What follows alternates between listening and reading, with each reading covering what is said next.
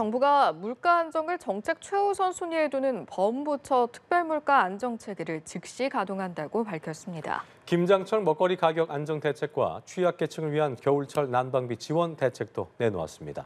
강은날 기자입니다. 정부가 비상경제 장관회의 겸 물가관계 장관회의를 열고 물가 현황 등을 점검했습니다.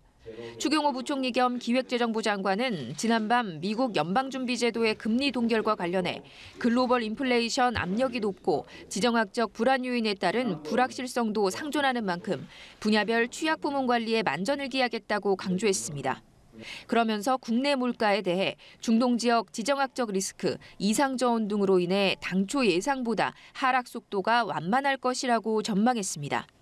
이에 범부처 특별물가 안정 체계를 즉시 가동하고 수급 관리, 제도 개선 등 관계기관 간의 공조가 필요한 사항은 즉각 대응하겠다고 밝혔습니다.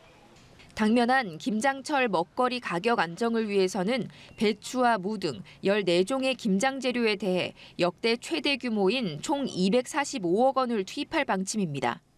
출하 계약, 비축 물량 만 톤을 집중 공급해 소비자 가격을 최대 50에서 60%까지 낮춘다는 계획입니다.